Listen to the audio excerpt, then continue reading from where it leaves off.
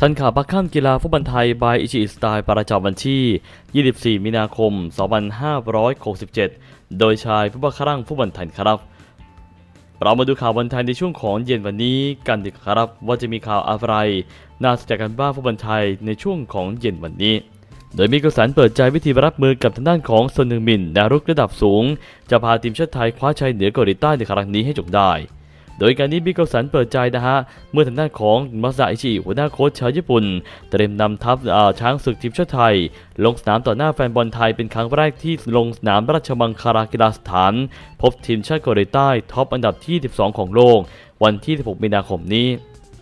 ศึกคัดบอลโลกโซนเอเชีย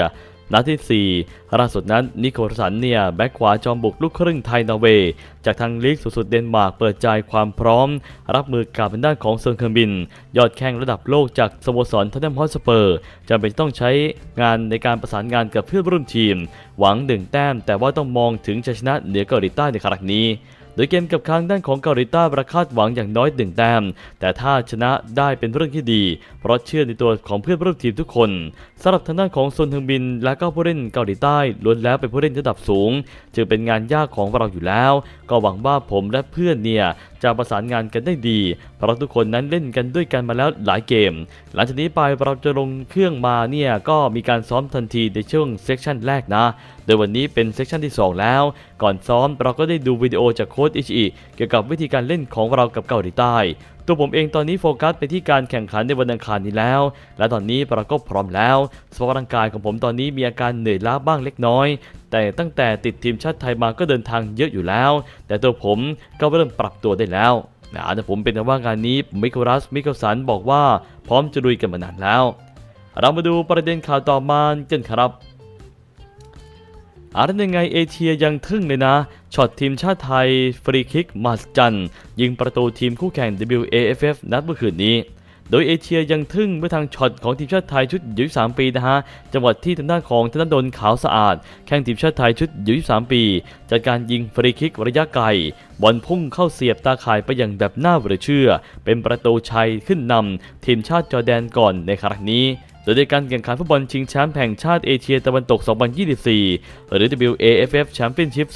2024 งานนี้บอกได้เลยว่าไม่ธรรมดานะครับ โอ้โห เป็นแต่ว่างานนี้เห็นลูกพุ่งยังกับลูกไฟนะฮะ เรียกว่าลูกดาวตก เข้าประตูไปอย่างสวยสดงดงามในครั้งนี้เลยทีเดียวนะเรามาดูประเด็นข่าวต่อมากันครับทีมชาติไทยพบทีมชาติเกาหลีใต้รูปเกมที่ไม่เปลี่ยนไป แต่เตรียมอัดอึดอัดใจกว่าเดิมอีกครั้ง โดยการนี้ผลพวงจากการที่ทีมชาติไทยบุกไปแบ่งแต้มจากทางด้านของโซลเวิลด์คัพสเตเดียมทำให้เกมนัดต่อไปที่เกาหลีใต้ จะเป็นฝ่ายมาเยือนราชมังคลากีฬาสถาน พวกเขาย่อมเน้นแบบหนักหน่วง โทษฐานที่ดันอาชราใจปล่อยให้ช้างศึก มีคะแนนกลับสยามประเทศในครั้งนี้โดยฐานะที่ทีมเป็นเบอร์ต้นของเอเชีย แถมปัจจุบันยังยกระดับไปอยู่แถวบนของโลกอีกต่างหาก เกาหลีใต้ชนะกระทั่งเยอรมนี และก็โปรตุเกสในศึกเวิลด์คัพ รอบสุดท้ายทั้งยังเสมออุรุกวัยกับโคลัมเบีย ซึ่งเป็นทีมชั้นนำของวงการลูกหนังซะด้วยนะ ดังนั้นการเสมอกับไทยในบ้านของตน มันจึงเป็นอะไรที่เสียหน้าพวกเขาพอสมควร อย่างไรก็ตามแม้จะได้เพิ่มเพียงแค่แต้มเดียวในวงการฟุตบอลโลกปี 2026 รอบคัดเลือกโซนเอเชีย แต่ว่าท้ายที่สุดแล้ว พวกเขาก็จะตบเท้าเข้าไปเล่นในรอบต่อไปแบบสบายหรืออยู่ดี ผิดกับที่ไทยที่ทุกแต้มมีค่า โดยมีเกมวัดกันเป็นอันดับที่ 2 ของกลุ่ม 4 ในการออกไปเยือนจีนในวันที่ 6 มิถุนายน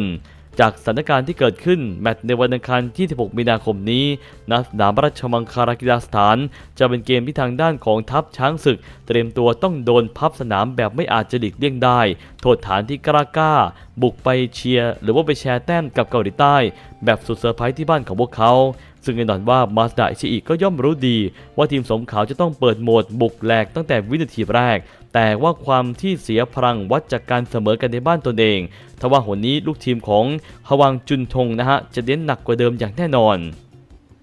โดยอีคังอินดาวรุ่งพรสวรรค์สูงจากทางด้านของปารีสแซงต์แชร์กแมงกับโชกูซองหัวหอกเบอร์หนึ่งของทีม จะได้ออกสตาร์ทเป็นตัวจริงเพื่อจะกำราบช้างศึกให้อยู่หมัดในครั้งนี้ ซึ่งเกมบุกด้านข้างที่เป็นหนึ่งในจุดเด่นของเกาหลีใต้ คงจะมีประสิทธิภาพมากกว่าเดิม เนื่องจากว่าเกมแรกพวกเขาถูกหมัดเด็ดของอิชิอิหยุดได้สำเร็จ ดังนั้น ทีมสมขาวที่ประสบความประสบการณ์โชคโชน ย่อมรู้ดีว่าจะทำเช่นไร เพื่อจะจอดแนวรับไทยเข้าไปให้ได้มากกว่าเดิมในครั้งนี้ โดยทางด้านของโซกูซองนั้นมีส่วนสูงมากถึง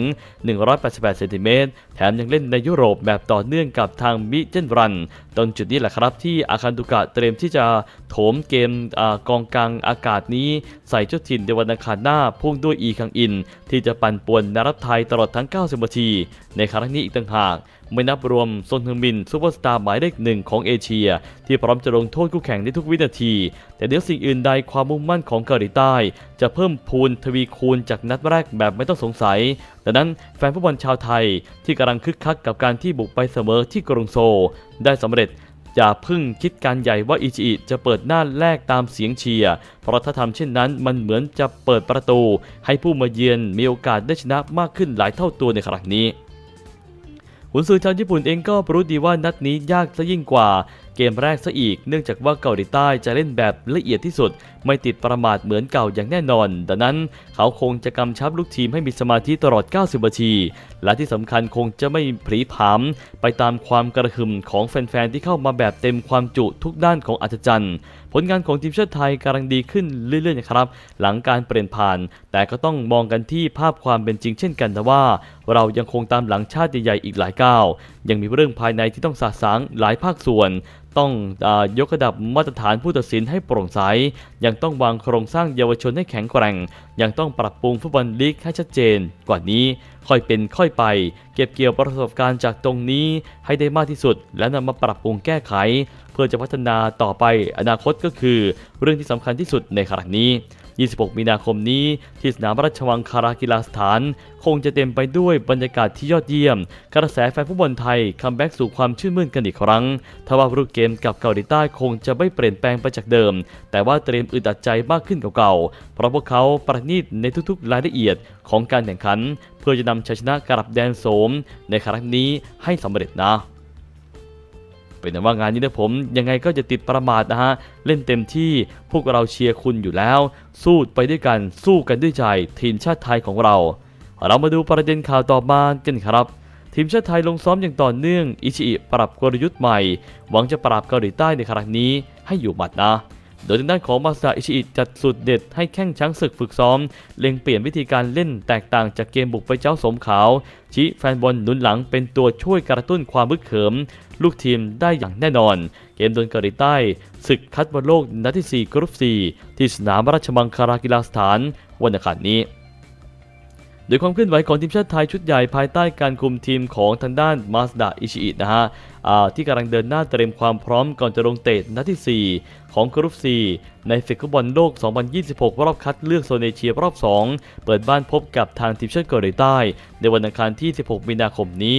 โดยทางด้านของสถานการณ์ทัพช้างศึกเวลานี้ ลงเตะไปแล้ว 3 นัดมีทั้งหมด 4 แต้มหลังจากฝูงของกรุ๊ป 4 ดยล่าสุดเมื่อวันที่ 23 มีนาคมที่ผ่านมาเวลา 18 นาฬิกา